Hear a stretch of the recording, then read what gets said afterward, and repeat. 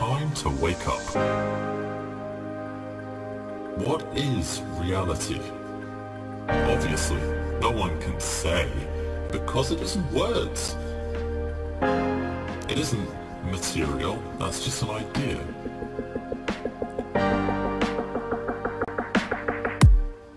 Reality is